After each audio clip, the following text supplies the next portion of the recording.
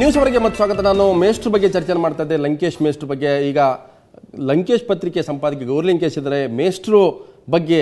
ಮೇಷ್ಟ್ರು ನಿಮಗೆ ತಂದೆಯಾಗಿ ನೋಡ್ತೀರಾ? ಒಬ್ಬ ಗೆಳೆಯನಾಗಿ ನೋಡ್ತೀರಾ? ಒಬ್ಬ ನಾಯಕನಾಗಿ ನೋಡ್ತೀರಾ? ಒಬ್ಬ ವೈಚಾರಿಕ ಬದಲಾವಣೆಗಾಗಿ ದುಡಿದಂಥ ಒಬ್ಬ ನಾಯಕ ಅಂತ ಭಾವಿಸ್ತೀರಾ ಗೌರಿ ಲಂಕೇಶ್ ಅವರೇ? ಎಲ್ಲೂ ಆಗಿದ್ದ ಆಗಿದ್ರು ನನಗೆ ಅವರು. ಅಪ್ಪನೂ ಆಗಿದ್ರು ಫ್ರೆಂಡ್ ಆಗಿದ್ರು ಮೆಂಟರು ಗೈಡು ಎಲ್ಲ ಎಲ್ಲ ಆಗಿದ್ರು ಅವರು. ಯಾವುದೋ ಒಂದು ರೀತಿನಲ್ಲಿ ಇವರು ಇಷ್ಟು ಅಪ್ಪ ಮಾತ್ರ ಆಗಿದ್ರು ಅಂತ ಹೇಳೋಕ್ಕಾಗಲ್ಲ. ಅವರು ಸಂಪೂರ್ಣವಾಗಿ ಬರೀ ಅಪ್ಪನೂ ಆಗಿರಲಿಲ್ಲ ಅಥವಾ ಬೇರೆಯವರಿಗೆ ಮೇಷ್ಟ್ರ ಆಗಿದ್ರಲ್ಲ ಹಾಗೆ ಸಂಪೂರ್ಣವಾಗಿ ಬರೀ ಮೇಷ್ಟ್ರು ಆಗಿರಲಿಲ್ಲ ನನಗೆ. ಎಲ್ಲವೂ ಆಗಿದ್ರು. ಅಂದ್ರೆ ಅಪ್ಪನ ಕೈಯಿಂದ ಹೊಡೆತ ತಿಂದಿರು ಮನೆಯಲ್ಲಿ ಅನೇಕ ಸಂದರ್ಭಗಳಲ್ಲಿ ತಾವು ಏ ಅಪ್ಪ ಹೊಡಿತಾನೆ ಇರಲಿಲ್ಲ. ಹೊಡಿತಾ ಇದ್ರೆ ನಮ್ಮಮ್ಮ. ನಮ್ಮಪ್ಪ ಒಂದಿನ ಕೈ ಮಾಡಿಲ್ಲ ನಮ್ಮ ಯಾರ ಮೇಲೂ. ಅಲ್ಲ ಲಂಕೆ ಲಂಕೇಶ್ವರ್ ಅಂದ್ರೆ ಬಹಳ ಕೋಪ ಸಿಟ್ಟು ತಕ್ಷಣಕ್ಕೆ ಏನೋ ರಿಯಾಕ್ಟ್ ಮಾಡ್ಬಿಡ್ತಾರೆ ಆಮೇಲೆ ಪ್ರೀತಿ ಮಾಡ್ತಾರೆ. ಇಲ್ಲ ಇಲ್ಲ ಅಪ್ಪಂಗ ಆ ಥರ ದೈಹಿಕ ಇದು ಶಿಕ್ಷೆ ಕೊಡೋದ್ರಲ್ಲಿ ನಂಬಿಕೆನೇ ಇರಲಿಲ್ಲ. ಅವ್ರ ಜೀವನದಲ್ಲಿ ಯಾರಿಗೂ ಹೊಡೆದಿದ್ದ ಉದಾಹರಣೆ ಇಲ್ಲ. ಹಂಗ ಹೊಡೆದಿದ್ದು ಅಂತಂದ್ರೆ ಮೂರು ಸರಿ ಏನೋ ನಮ್ಮ ಅಮ್ಮನಿಗೆ ಅದು ಏನೋ ಒಂದು ಸರಿ ಎಚ್ಚರಿಸ್ ಮಲ್ಕೊಂಡಿದ್ದಾಗ ಎಚ್ಚರಿಸಿದಾಗ ಅವ್ರಿಗೆ ಶಾಕ್ ಆಗ್ಬಿಟ್ಟು ಹೊಡೆದಿದ್ದು. ಇನ್ನೊಂದು ಸರಿ ಏನೋ ಕಾಲು ಉಗುರು ಕತ್ತರಿಸ್ತಾ ಇದ್ದಾಗ ಕಟ್ ಮಾಡಿದಕ್ಕೆ ಹೊಡೆದಿದ್ದು, ಆ ಥರ ಅದು ಬಿಟ್ಟರೆ ಎಂದೂ ಅಪ್ಪ ಯಾರಿಗೂ ಹೊಡೆದವ್ರಲ್ಲ. ಆ ಥರ ದೈಹಿಕ ಹಿಂಸೆಯಲ್ಲಿ ಅವ್ರಿಗೆ ನಂಬಿಕೆನೇ ಇರಲಿಲ್ಲ, ಅವ್ರು ಯಾರಿಗೂ ಹೊಡೆದವ್ರಲ್ಲ. ಅಲ್ಲ, ನನ್ನ ಗೌರಿ ಲಂಕೇಶ್ ನಿಮ್ಮನ್ನು ಕೇಳ್ತೀನಿ ಆಯ್ತು ಮಗಳಾಗಿದ್ದರೂ ಇವತ್ತು ಲಂಕೇಶ್ ಇಲ್ಲದ ಕರ್ನಾಟಕದ ಸಾಮಾಜಿಕ ಸಂದರ್ಭ, ಸಾಂಸ್ಕೃತಿಕ, ರಾಜಕೀಯ ಸಂದರ್ಭದಲ್ಲಿ ಲಂಕೇಶ್ ಇಲ್ಲದ ಒಂದು ವಾತಾವರಣ ಶೂನ್ಯ ಅಂತ ಅನಿಸುತ್ತಾ ಅಂತ? ತುಂಬ ಸಾಮಾಜಿಕವಾಗಿ ಮತ್ತು ವೈಯಕ್ತಿಕವಾಗಿ ಎರಡರಲ್ಲೂ ಅಪ್ಪ ಇಲ್ದಿರೋದೊಂದು ದೊಡ್ಡ ಶೂನ್ಯ ಅನ್ಸುತ್ತೆ. ಅದರಲ್ಲೂ ಕಳೆದ ಐದು ವರ್ಷ ಇದ್ದ ಸರ್ಕಾರದ ಟೈಮಲ್ಲಂತೂ ಪ್ರತಿ ವಾರ ನಮಗೆ ಅಪ್ಪ ಇದ್ದಿದ್ರೆ ಏನು ಮಾಡ್ತಿದ್ರು, ಯಾವ ನಿಲುವು ತಗೊಂತಿದ್ರು ಅನ್ನೋ ಒಂದು ಪ್ರಶ್ನೆ ಕಾಡ್ತಾನೆ ಇತ್ತು. ಆದರೆ ನಮ್ಮ ಚಂದ್ರೇಗೌಡರು ಅವರು ಪ್ಯಾನಲಲ್ಲಿದ್ದಾರೆ. ಅವ್ರು ಹೇಳೋದೇನು ಅಂತಂದ್ರೆ, ಲಂಕೇಶ್ ಇಲ್ಲದೆ ಇದ್ರೂ ನಾವು ಈ ಪ್ರಶ್ನೆನ ನಮಗೆ ಕೇಳ್ಕೊ, ಕೇಳ್ಕೊಳ್ಳೋ ಮೂಲಕ ಪ್ರತಿ ಹಂತದಲ್ಲೂ ಲಂಕೇಶ್ರು ನಮ್ಮಲ್ಲಿ ಇನ್ನ ಜೀವಂತ ಇದ್ದಾರೆ ಇನ್ನ ಬೆಳೀತಾ ಇದ್ದಾರೆ ಅಂತ ಅನ್ಸುತ್ತೆ ಅವ್ರು ಹೇಳಿದ್ರು ಒಂದ್ಸರಿ ಅದು ಕರೆಕ್ಟ್ ಇದೆ ಅನ್ಸುತ್ತೆ. ಚಂದ್ರೇಗೌಡರು ಮಾತಾಡ್ತೀನಿ ಇನ್ನೊಂದೆರಡು ಉದಾಹರಣೆಗಳು ತಗೋಬಹುದು ಇತ್ತು ಹೇಳಿ ಹೇಳಿ.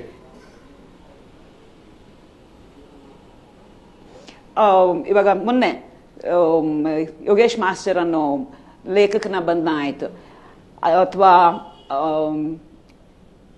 ಇವಾಗ ಎಸ್ ಎಲ್ ಭೈರಪ್ಪ ಅವ್ರನ್ನ ಇವಾಗ ಕೆಲವು ಸಂಘಟನೆಗಳು ಮತ್ತು ಕೆಲವು ಮಾಧ್ಯಮಗಳು ಬ ಏನು ಎತ್ತಿ ಮರೆಸ್ತಾ ಇದ್ದಾರೆ ಇವತ್ತು. ಅಪ್ಪ ಇದ್ದಿದ್ರೆ ಅದೆಲ್ಲ ಆಗ್ತಿರ್ಲಿಲ್ಲ ಅಂತ ಅನ್ಸುತ್ತೆ. ಒಂದು ರೀತಿ ಯಾಕೆ ಅಂತಂದ್ರೆ ರಾ- ಬರೀ ಸಾಹಿತಿಗಳನ್ನ ಮಾತ್ರ ಅಲ್ಲ ರಾಜಕಾರಣಿಗಳನ್ನ ಅಪ್ಪ ಕಾಡ್ತಾ ಇದ್ರು. ಯಾವಾಗ್ಲೂ ನಾವೇನಾದ್ರೂ ಮಾಡಿದ್ರೆ ಲಂಕೇಶ್ ಏನ್ ಪ್ರತಿಕ್ರಿಯೆ ಏನಿರುತ್ತೆ ಅಂತ ಹೆದರ್ತಿದ್ರು ಜನ. ಅದ್ರ ಎಲ್ಲರ ಗಮನಲ್ಲಿ ಇರ್ತಿತ್ತು ಅನ್ಸುತ್ತೆ. ನಾನು ಮತ್ತೆ ಮಾತಾಡ್ತೀನಿ ಗೌರಿ ಅವರೇ. ನಾನು ಕಟ್ಟೆಪುರಾಣ ಚಂದ್ರಗೌಡ ಮಾತಾಡ್ತೀನಿ. ಚಂದ್ರಗೌಡ್ರೆ, ಲಂಕೇಶ್ ಅವರು ಜೊತೆ ತಾವು ಕೆಲಸ ಮಾಡಿದ್ರೆ ಲಂಕೇಶ್ ಅವರು ಸಂಕೀರ್ಣ ವ್ಯಕ್ತಿತ್ವ ಅನ್ನುವಂಥ ಮಾತು ಇದೆ. ಆ ಸಂಕೀರ್ಣದಲ್ಲಿ ತಾವು ಲಂಕೇಶ್ ಅವರು ಅರ್ಥ ಮಾಡ್ಕೊಳ್ಕಾಯ್ತಾ? ಮೇಷ್ಟ್ರ ಗುಣಗಳನ್ನು ತಾವು ತಿಳ್ಕೊಂಡ್ರ ಅದು ಒಬ್ಬ ಶಿಷ್ಯರಾಗಿ ಅಯ್ಯೋ ಅವರು ತೀರೋದ ಮೇಲೆ ನನಗೆ ಅರ್ಥ ಆಗ್ತಾ ಇದ್ದಾರೆ. ಅದೊಂದು ಸಮಸ್ಯೆ ನಂದು ಆ, ಲಂಕೇಶರು ಹಾ. ಬಹಳ ಸಂಕೀರ್ಣ ವ್ಯಕ್ತಿತ್ವ ಉಳ್ಳವರವರು ನನಗೆ ಆಶ್ಚರ್ಯ ಅಂತ ಅಂದರೆ ಅವರು, ನೀವು ಈ ಕಾರ್ಯಕ್ರಮನ ರೂಪಿಸಿದ್ದಕ್ಕೆ ನಾನು ಫಸ್ಟು ಅಭಿನಂದಿಸ್ತೀನಿ. ಲಂಕೇಶ್ ಒಬ್ಬರು ಅಸಾಮಾನ್ಯ ಸೃಷ್ಟಿಕರ್ತ.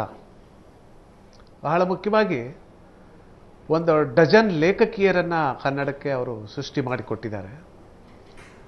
ಆಮೇಲೆ ಎರಡು ಡಜನ್ ಲೇಖಕರನ್ನು ಸೃಷ್ಟಿ ಮಾಡಿದ್ದಾರೆ. ನಾನು ಲೆಕ್ಕ ಹಾಕಿದ ಪ್ರಕಾರ. ನನಗನ್ನಿಸ್ದಂಗೆ ಅವರು ಕುವೆಂಪು ನಂತರದ ಇನ್ನೊಂದು ವಿಸ್ಮಯ.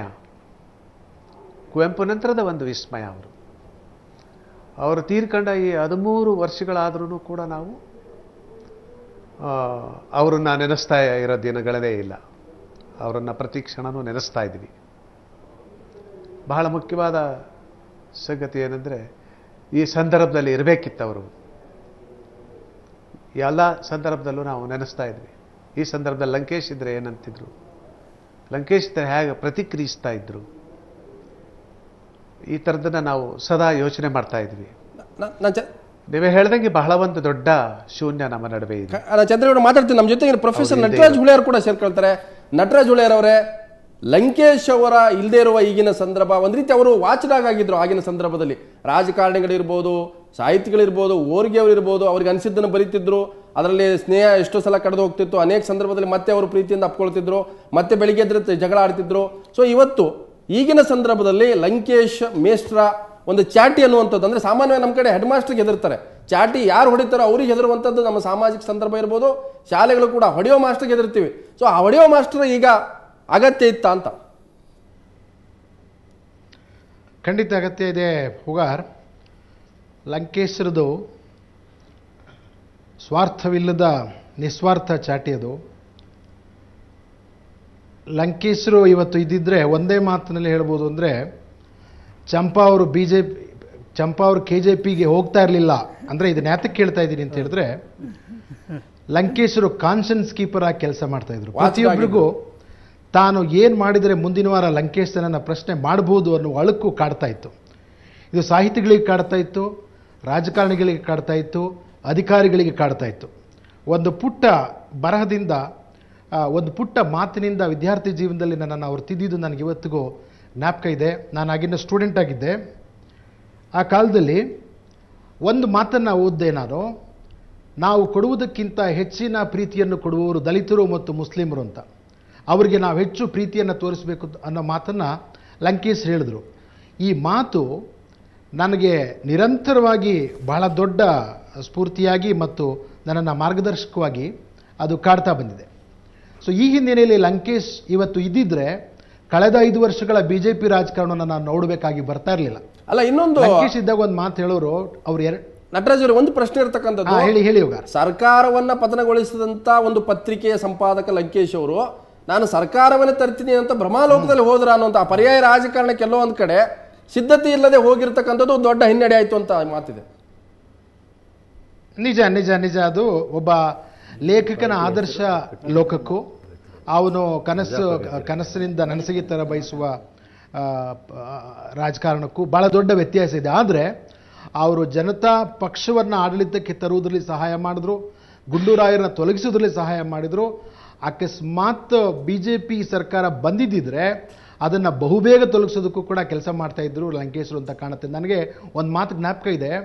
ಸಾವಿರದ ಒಂಬೈನೂರ ತೊಂಬತ್ತೊಂಬತ್ತರಲ್ಲಿ ಎರಡು ಸಾವಿರದಲ್ಲಿ ಲಂಕೇಶ್ ತೀರ್ಕೊಂಡಿದ್ದು ಸಾವಿರದ ಒಂಬೈನೂರ ತೊಂಬತ್ತೊಂಬತ್ತರಲ್ಲಿ ಒಂದು ಮಾತು ಹೇಳಿದ್ರು ಲಂಕೇಶ್ ಏಯ್ ನಾನಿರೋ ತನಕ ಬಿ ಜೆ ಪಿಯಲ್ಲಿ ಅಧಿಕಾರಕ್ಕೆ ಬರೋದಕ್ಕೆ ಬಿಡೋದಿಲ್ಲ ಕಣೆ ಅಂತ. ಇದು ಬಹಳ ದಾರ್ಷ್ಟ್ಯದ ಮಾತಾಗಿ ನಮ್ಗೆ ಕಾಣಿಸ್ಬೋದು.